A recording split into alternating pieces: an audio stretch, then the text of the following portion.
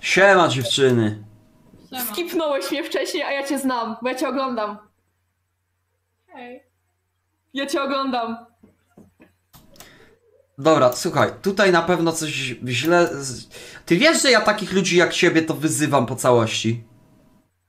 Kogo? Że kto, kogo wyzywasz? No takich ludzi jak ty, alternatywki, osoby homoseksualne, biseksualne, wszystkich tego typu ludzi wyzywam. Także jakiś tutaj proces myśl... czekaj, czekaj, czekaj, ja jestem hetero, jestem chrześcijanką i nie jestem LGBT. Okej, no to możesz nie być LGBT, ale mówisz, że jesteś chrześcijanką? Tak? Tak. Słuchaj, znaczy możemy, po, może pominiliśmy kościoły, może ty jesteś y, kościół chrześcijański, ale wiary w diabła, a ja w Jezusa. Ale to nawet ja nie wierzę w chodzi o... Tak? Chodzisz do kościoła? Co niedzielę. Tak? Tak. Z ręką na sercu? No przysięgam. Ale nawet mam, naprawdę? Na palcu mam y, różaniec nawet. Ona, ona mieszkamy w internacie, jesteśmy w klasie. Poczekaj, poczekaj. I się zadajesz z osobami, które mają tutaj na swojej piersi pentagram. Tak. No, Tak. pentagram, ponieważ jestem satani... sa... satanistą ateistycznym. Powiem ci tak, ogólnie jesteśmy w plastyku, w sensie szkoła plastyczna i jakby jestem, no jest mało chrześcijanek, jakby chrześcijaninów w tej szkole, bardzo mało. I ja jestem chrześcijanką, bardzo wierzącą, pochodzę z bardzo wierzącej rodziny, chyba. a zadaję się z osobą, która jest, o, ty jesteś ateistką czy satanistką? Bo sama nie wiem. Ateistycznym. Ona jest satanistką ateistyczną, zadaję się też z koleżanką, która też jest satanistką ateistyczną i satanistą. Najbardziej się z nimi dogaduję, najlepiej. Dobra, a jesteś alternatywką? No w sensie ja po prostu się ubieram troszkę inaczej, po prostu mam specyficzny styl. I ty chodzisz w ten sposób... makijaże robię, dobieram jakoś ciuchy. I, i ty chodzisz w ten sposób do kościoła? Nie, do kościoła trochę tak y, Bardziej stopuję w sensie. stonowany. Makijaż mam taki normalny, wszystko normalne, nie? Tylko na czarno, bo ja się zawsze ubieram na czarno, a po prostu stopuję wszystko.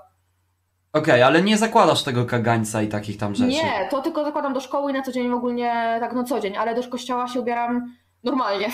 tylko na czarno. Jeżeli to, co mówisz, jest prawdą... Ile masz lat? Ja 16 prawie. Okej. Dobra, to jeżeli to, co mówisz, jest prawdą, e, ciężko, żebyś kłamała w tylu rzeczach i się nie pogubiła, to jest to przełomowy moment w historii. Wiem, mordo, jakby każdy się dziwi, tak samo reaguje i nikt nie wierzy mi w to, że jestem chrześcijanką. Nawet ksiądz na pierwszą religię, jak byłam w tej szkole, jestem tak ubrana codziennie, nie? E, No i on jak ja się, bo ogólnie jak ktoś chodzi na religię, bo musi po prostu, bo rodziców ma wierzących, ale nie wierzy w Boga, to wstaje, ale się nie modli, nie? A ja normalnie wstałam i się modliłam i ksiądz na mnie patrzył takim wzrokiem, a myślał, że sobie jaja bo robię po prostu z religii, tak patrzył tak tak, takim wzrokiem, wiesz, jakby po prostu chyba się myślał, że sobie po prostu beczkę robię trochę, ale tak, jestem wierząca. Nie widać po mnie, ale jestem wierząca. Ja na przykład nie chodzę na religię, bo jestem niewierząca, więc Tak. nie uczestniczę w religii. A trzecia osoba? Chodzę, Estera. ale stoję i się patrzę. Tak, mamy dziewczynę, która wygląda jak taki typowy informatyk, inżynier w każdej kreskówce. No, która? No ta w goglach, nie? Jak taki typowy, o Ratchet była kiedyś taka gra, to ona jak Ratchet wygląda. Jesteś ty, która wygląda jak typowa, typowy pogromca chrześcijan, w czarnej skórzanej kurtce, pluje krwią, zamiast języka posiada węża w ustach. No i jest ta trzecia, która widać, że jest heavy metal po prostu, nie? To black I, metalu. i po prostu... w koncerty i dokładnie w ogóle jest na odwrót. Na odwrót. Ta, co powinna być. He...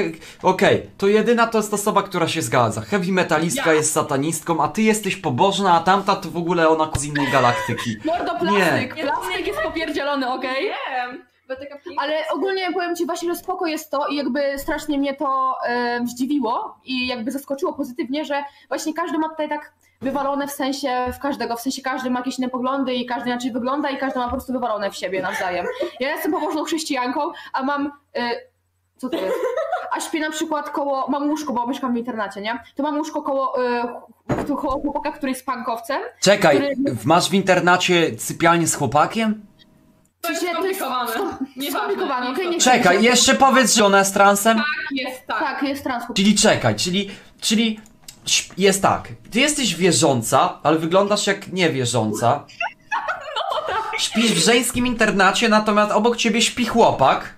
No ale to jest trans chłopak, no. Jesteś osobą wierzącą, nie powinnaś tolerować takich rzeczy.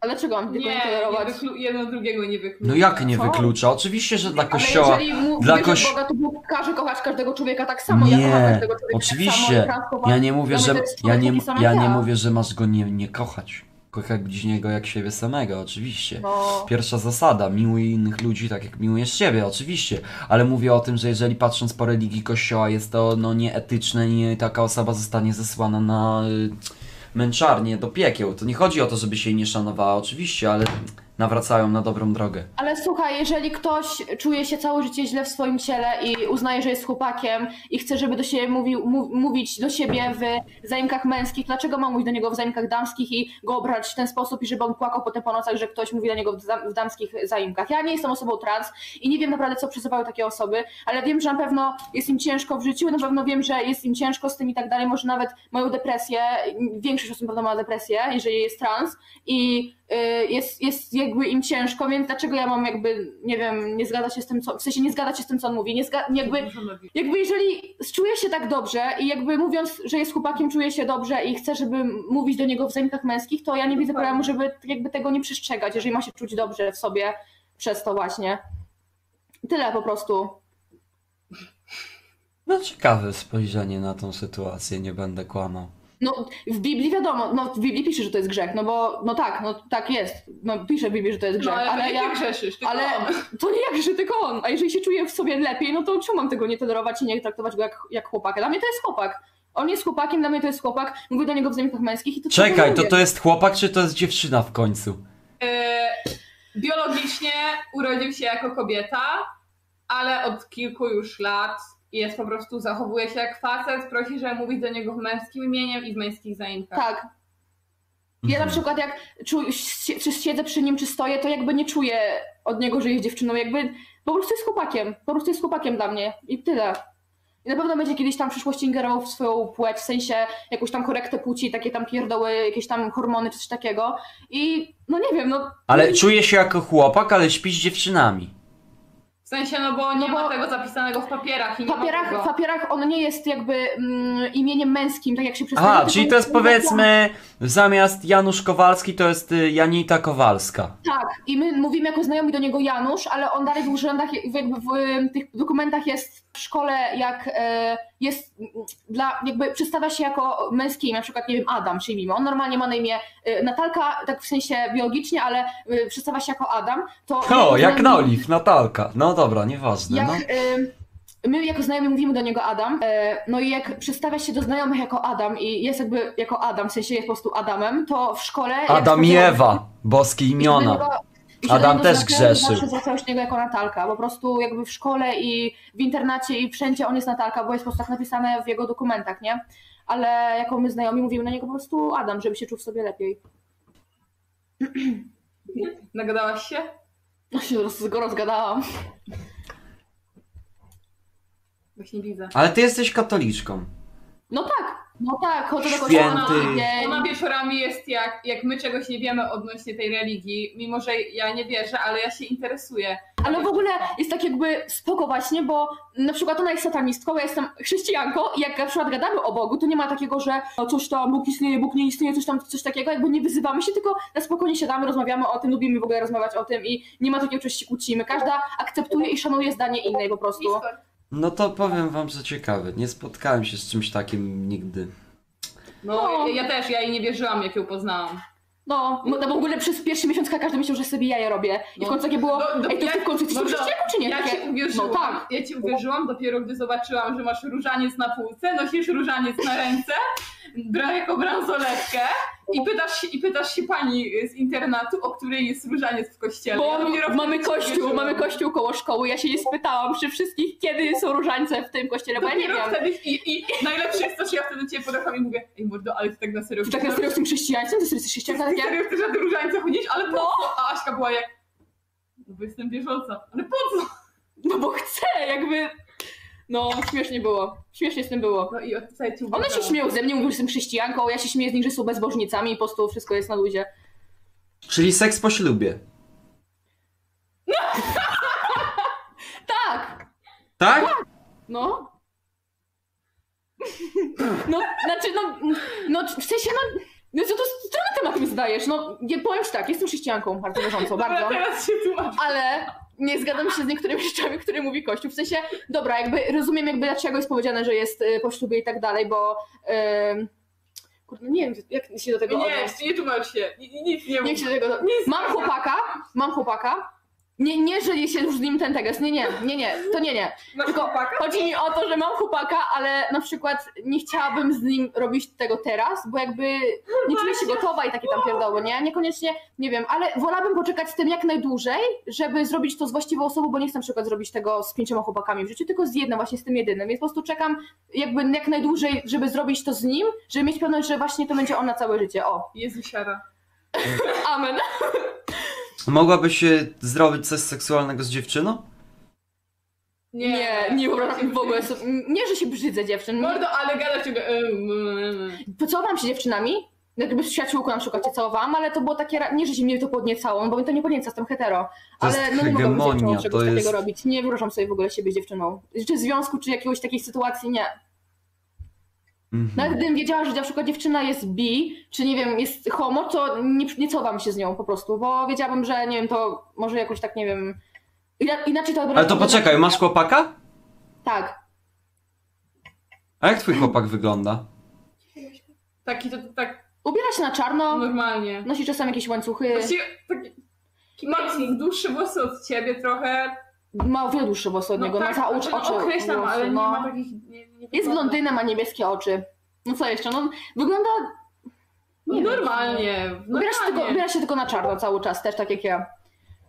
Czyli heavy metal też. Nie, Nie, nie, nie, nie. słucha metalu, słucha rapu. Mhm.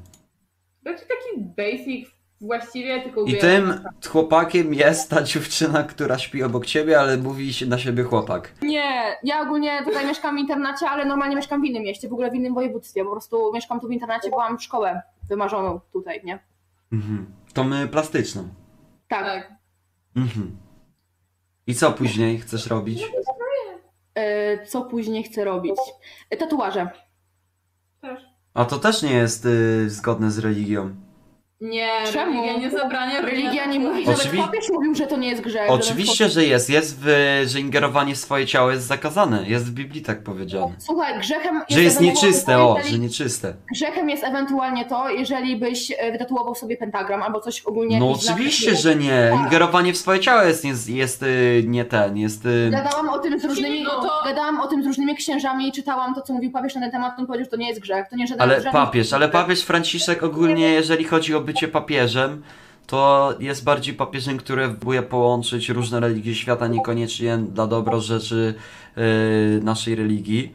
Bardziej chodzi o dobre, dobre kontakty. Jeżeli mówi tak, jak jest powiedziane w Biblii, to już było powiedziane parę razy, że jeżeli chodzi o otrzymanie statusu, e, prawda, e, tego religijnego w naszej kulturze, to jednak gdzieś tam odbiega.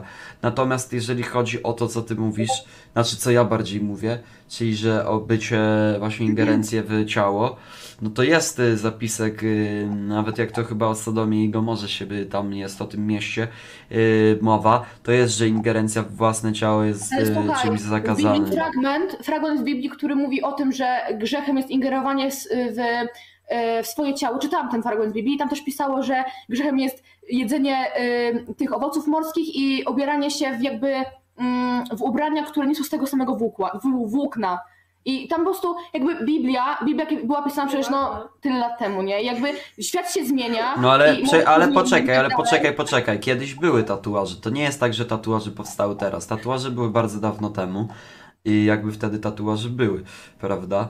Ale Y, kto to wtedy był to wytatuowany? Wtedy no jedna osoba na po prostu milion była wytatuowana chyba. Teraz przecież to jest moda, jakby to jest... Nie, tatuaże kiedyś były bardzo znane. Później zostało to w średniowieczu i tak dalej zarzucone. Dopiero później y, piraci i największe zbiry miały tatuaże. Ale Właśnie kiedyś ja tatuaże, tatuaże kiedyś ta- z więźniami. No. ale kiedyś tatuaże były bardzo przy starożytnym Egipcie. Ile osób miało tatuaże? Te wszystkie, y, wszyscy ci tacy wodzowie, naczelnicy i tak dalej, wszystkie te osoby miały tatuaże. Ale też Aśka jakby robiła tatuaże, nie musi ich robić sobie, tylko komuś. To jest praca jak każda No inna. tak, ale aborcji też nie musisz robić sobie, tylko możesz komuś. Praca jak każda inna. Mówię, że powiedziałaś, że wzięłaś za punkt obrony to, że e, powiedziałaś, że Mm, jak ty to powiedziałaś, że ona nie musi robić sobie tatuaży, tylko No, może ale komuś? Jako praca, no. No to tak samo mówię, osoba, która dokonuje aborcji, prawda, nie musi jej dokonać sobie, tylko może komuś, to znaczy, że to znaczy, nie jest ja grzech, bo nie nie jest na jestem za sobie. aborcją, więc... No nie, ale idąc twoim typem, no to to też nie będzie złe, jeżeli dokona aborcji na kimś. Ty jesteś za aborcją? Mordo, ja nie jestem za aborcją taką ogólną, że ktoś sobie wpadł mi z klikiem i idzie sobie usunąć to dziecko nagle. No, Ja nie jestem za tym, podejmując stosunek, musisz być świadom tego, że możesz zapłodnić dziecko, tak? no. Ja jestem Znaczy za- zapłodnić dziecko? Tak trochę dziwnie dziecko! Okej. Dobra. Ja jestem za aborcją tylko wtedy, gdy ciąża jest zagrożona, że matka może umrzeć, że dziecko może być tak chore, że umrze od razu po porodzie, no nie? No to ja mam podobne myślenie do ciebie. A tak, że ktoś idzie, kiedy chce usunąć dziecko, to ja też tego nie jestem No to za tym. ja tak samo mam. Myślę w sensie. Mhm. No ale to nie było moje pytanie. Ja ogólnie gadałam, gadałam z wieloma księ, księżmi, księżmi o tym, e, jakby właśnie o tatuażach i mm, nawet znam księdza, który mia, ma tatuaż i jakby no Tak? według mnie, tak, według mnie nie jest jakby to nic złego, że ktoś ma tatuaż. No gdyby Słuchaj, nawet tatuaż- palenie jest złe i picie alkoholu nadmierne jest złe. No tak, bo to jest zniszczenie swojego zdrowia. No a tatuaż przecież też ingeruje w twoje zdrowie. Osoby z tatuażami są 73 albo 8% bardziej podatne na choroby typu rak, niżeli osoby bez tych tatuaży. Ja po prostu dużo o tym czytałam i dużo, dużo z ludźmi, wieloma ludźmi gadałam i to nie jest według mnie grzech po prostu. Aha, okej, okej. No to, to dobrze, że nie No, jest ja, ja jestem chrześcijanką bardzo wierzącą, ale... Nie, ja w ogóle nie, podle, nie podlega to wo- wątpliwościom po tym, co mówisz. To jakby ci wierzę w 100%. W sensie ja po prostu powiedziałam to, bo chciałam podkreślić to, że będę miała tatuaże kiedyś w przyszłości, na pewno. Już mam jakieś zaplanowane Zrobisz tatuaże. sobie Jezuska? Nie! Szkoda. Nie, no fajnie, ciekawie się z wami dziewczyny rozmawia. No. Ja cię bardzo w ogóle często oglądam, ja się śmieję z tych twoich filmików, jakby nie wiem, oglądam cię na TikToku, na YouTubie. nie wiem, co ty Ja po prostu, ja dosłownie sekundę cię widziałam, bo ja scrollowałam, scrollowałam No. i zobaczyłam cię i ty się rozłączyłeś, takie miałam, o Jezu, chyba zobaczyłam takiego TikTokera, czy nie wiem, YouTubera, nie wiem. I pokazałam, specjalnie go szukałyśmy, 5 minut go szukałyśmy, ciebie szukałyśmy w telefonie i znalazłam ciebie i pokazałam imię. Chyba, ale ja nie, w ogóle nie zwróciłam, ja nie, nie znam. A, to nic nie tracisz, spokojnie. Jak mnie nie znasz, to chill bomba, nic nie tracisz. Serio? No. Ale, jestem Ale jesteś ciekawska, fajny, ale lubię cię oglądać po prostu. Nie- Nieciekawą osobistością jestem, nic nie tracisz, chill. Ale ja jestem ciekawska. Nie, pokażę ci potem, on jest, serio, ja się zawsze śmieję z twoich... Dobra, wiecie, ej, poczekacie jeszcze na sekundę z widzami, ja bym poszedł po wodę do słoika? Dobra. La la la la la la la, dobra, ale odkleiło mi to bani, nie będę kłamał.